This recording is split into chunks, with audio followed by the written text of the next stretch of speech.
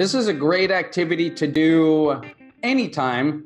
If you're looking for an icebreaker activity or something to do on the first day or the first week, this is perfect. It helps question formation, which is always an issue.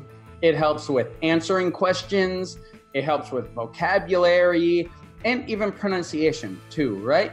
And I like to add these two activities together and these two games together. The first one I like to do is 20 questions. And then after that, once the energy for 20 questions starts to die down, then I change it and kind of invert the game and play a game that's called, well, I call it Who Am I?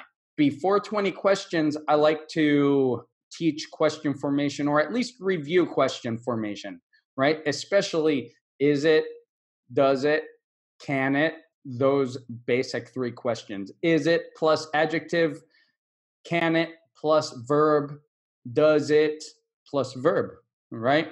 But first, let's take a look at 20 questions. If you're not familiar with it, I will start. I'll stand up in front of the classroom and I'll say, okay, I'm thinking of something. You get 20 questions to decide what it is. And depending on the age and how many students are in your classroom and the general idea, they might uh, take a minute to warm up to the game and to get involved. No problem. Just encourage them and help them come along. One trick that I like to do is I like to go on the whiteboard or the chalkboard or whatever you have in your classroom. And every time they ask a question, mark one, right? Two, three, four, five, six, seven, eight, nine, ten, and tell them that they have 20 questions maximum. That kind of visual and like the countdown, it adds some pressure, especially after they get to 10. And then they'll start really trying to guess. Okay, so I'm thinking of an object, and the point is to ask questions from the most broad to the most narrow. Right? So, uh, is it real? Is it fictional? Is it an animal? Is it alive?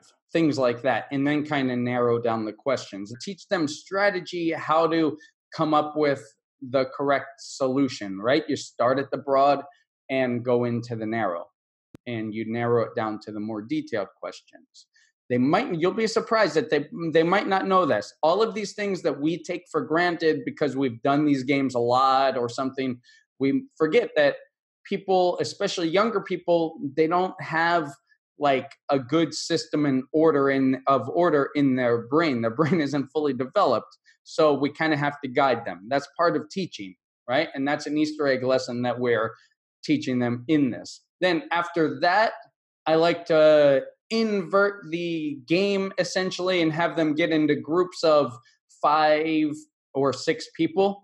And you're going to give them little pieces of paper, right? You're going to rip up or have them make little pieces of paper like this.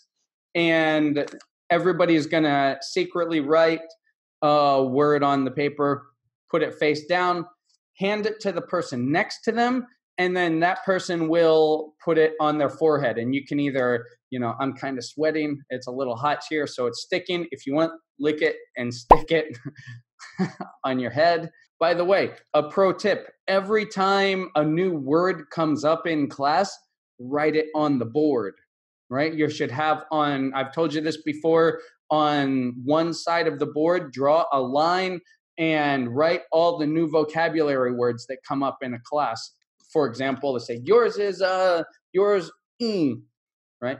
Yours is upside down. Teach that everything along the way. Teach these things, right? So they know how to communicate what they want and write it on the board. Okay, so the essentially the idea is I have this on my head, and instead of asking the questions, is it, can it, does it, and then the more advanced the students are, your classes are, the different kinds of questions they will ask. But for this game, you're not asking, is it? You're asking, am I? Because this is me, right? And you would say, am I alive? Am I a living thing? And they'd say yes or no. If the answer is yes, then I get to ask again, uh, can I fly? No. If the answer is no, by the way, my card is I don't know if you can see that. A lion. Can I fly? No. So then it passes to the next person, right? And then they ask. So the idea is that whoever guesses their thing first, uh, well, they guess until everyone guesses their thing, right? You could do it like that, have whoever guesses first wins or something like that. You adapt these for your classes and your style, how you want to do it in your class. But these are the two basic games I like to put together.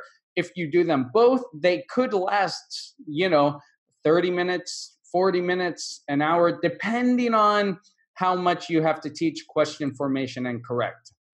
Then, after the lesson, after the games, you can review the vocabulary that you wrote on the board or uh, review question formation or have a little debriefing. Uh, what was the most creative uh, question you had in your group, or what was the most uh, the most difficult thing to guess?